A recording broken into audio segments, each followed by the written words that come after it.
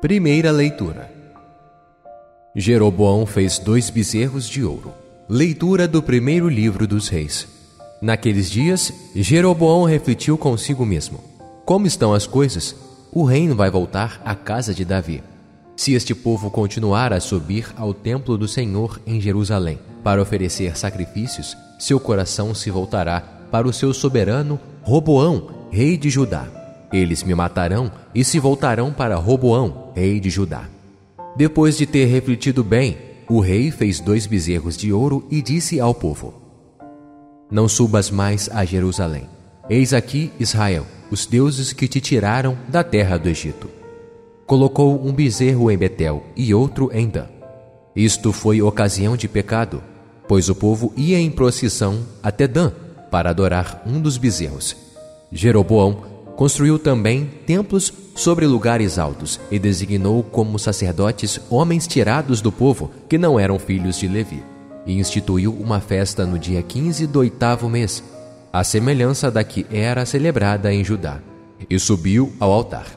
Fez a mesma coisa em Betel, para sacrificar os bezerros que havia feito. E estabeleceu em Betel sacerdotes nos santuários que tinha construído nos lugares altos. Depois disso, Jeroboão não abandonou o seu mau caminho, mas continuou a tomar homens do meio do povo e constituiu-los sacerdotes dos santuários, dos lugares altos. Todo aquele que queria era consagrado e se tornava sacerdote dos lugares altos. Esse modo de proceder fez cair em pecado a casa de Jeroboão e provocou a sua ruína e o seu extermínio da face da terra. Palavra do Senhor. Salmo responsorial. Lembrai-vos, ó Senhor, de mim lembrai-vos, segundo o amor que demonstrais ao vosso povo. Pecamos como outrora nossos pais, praticamos a maldade e fomos ímpios. No Egito, nossos pais não se importaram com os vossos admiráveis grandes feitos. Lembrai-vos, ó Senhor, de mim lembrai-vos, segundo o amor que demonstrais ao vosso povo. Construíram um bezerro no Horebe e adoraram uma estátua de metal. Eles trocaram o seu Deus, que é sua glória, pela imagem de um boi que come feno. Lembrai-vos, ó Senhor, de mim lembrai-vos, segundo o amor que demonstrais ao vosso povo. Esqueceram-se do Deus que os salvara, que fizera maravilhas no Egito. No país de Cã fez tantas obras admiráveis, no Mar Vermelho tantas coisas assombrosas. Lembrai-vos, ó Senhor, de mim lembrai-vos, segundo o amor que demonstrais ao vosso povo.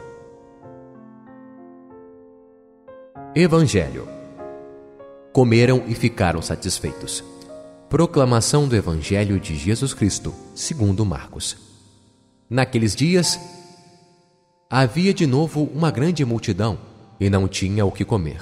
Jesus chamou os discípulos e disse: Tenho compaixão dessa multidão, porque já faz três dias que está comigo e não tem nada para comer.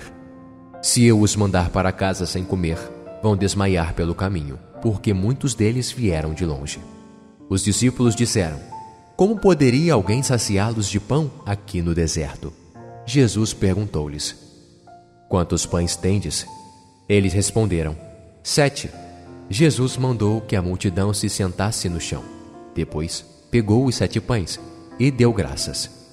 Partiu-os e ia dando aos seus discípulos, para que os distribuíssem. E eles os distribuíam ao povo. Tinham também alguns peixinhos. Depois de pronunciar a bênção sobre eles, mandou que os distribuíssem também. Comeram e ficaram satisfeitos, e recolheram sete cestos com os pedaços que sobraram. Eram quatro mil mais ou menos. E Jesus os despediu. Subindo logo na barca com seus discípulos, Jesus foi para a região de Dalmanuta. Palavra da salvação. Encerramento. Que Deus te abençoe e te guarde neste dia, e te dê a paz de Cristo no seu coração. Pai nosso que estás nos céus, santificado seja o vosso nome.